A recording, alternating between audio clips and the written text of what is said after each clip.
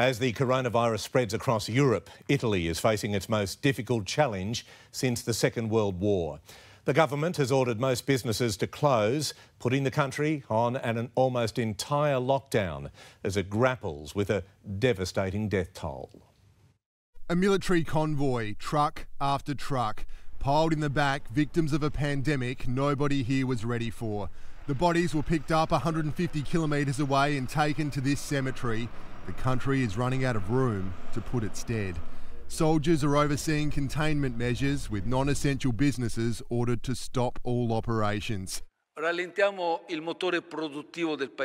is not an easy decision, the Italian Prime Minister said, but it is a decision that prepares us to tackle the most severe moment of the contagion.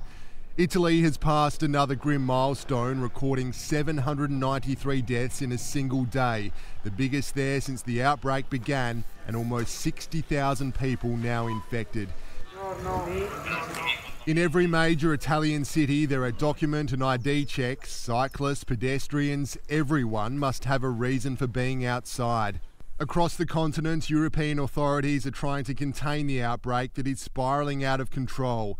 The Spanish Prime Minister did not mince his words. Desgraciadamente, lo peor está por llegar. The worst is yet to come, Pedro Sanchez said. The most damaging wave will push our moral capacity and strength as a society to the limit. After Italy, Spain is Europe's second highest coronavirus hotspot, more than 25,000 infected and more than 1,300 dead. Germany has 22,000 infections and 84 dead, and while France is treating almost 15,000 people, more than 500 have already succumbed to the outbreak. With the UK all but in lockdown, Boris Johnson begged the nation to stay home this Sunday, swapping flowers for Skype as Brits celebrate Mother's Day.